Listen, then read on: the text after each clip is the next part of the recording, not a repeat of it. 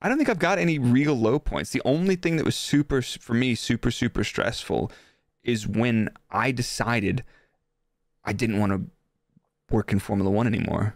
And it's like one of those things it's like my my the, the entire entirety of my professional life has been education very quickly shifted towards focusing on doing this thing spend 10 11 years doing that thing and then you're like i want out now i want to do something else and it's like a really like it's not like it was bad but it was a very weird low and kind of almost helpless feeling it's like wow i'm i'm leaving that thing that i've like uprooted my entire life to go do so Yeah, it's, I mean, it's it's always scary, right? Change Yeah. is scary by Oh. definition. well i've, I've just been reminded of my favorite low point uh, my favorite low point I've just read that. as my favorite low point was that I no, it's not a low point, but my my low point joining Red Bull was when I joined to be Sebastian Vettel's uh, performance engineer and get to work with Rocky.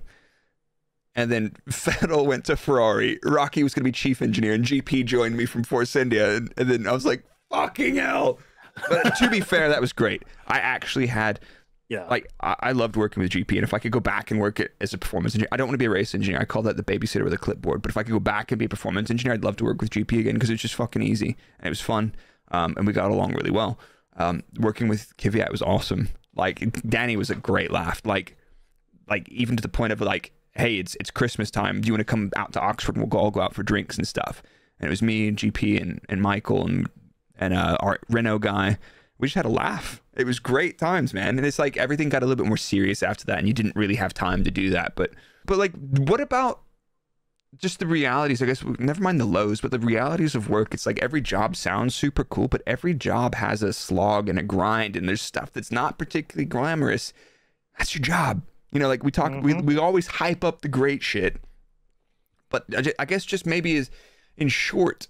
I don't know if Dan or, or Jake, you have anything to add, but like in short, it's like uh, be mindful that all jobs have the highs and lows, and the ability to stay focused through the stuff that feels like the grind is uh yeah, and that that'll separate. Like like you said, like Jake, your realization, like going back to finance and stuff, you're like, man, fuck a spreadsheet. That's I'm not about that life. Mm-mm. Any, any No. anything to add to that? Um, yeah, I mean, because I, I think a, a lot of people see kind of end product and they'll see like something that I put on social media, but they don't know that I've also like you know ten minutes prior to that got asked to make like toilet door signs or Yeah, something. or a, a Wait, corporate deck wait. for something really boring. Yeah, like don't, and don't like th- those things are. I remember, I, like I went, I interviewed at a, a cruise co- cruise line like years ago to do graphic design, and I was kind of like, you know, what, what's the job then? And it was just making their brochure all the time. Like, so I was like, okay, cool. So when you finish the brochure, what do you do? And they're like, make the next brochure. And I was like, nah, like I'm out. like I, I need, I, I, I need the variety because if you don't have sort of, if you don't have like, uh, if everything was just amazing, you'd take it for granted.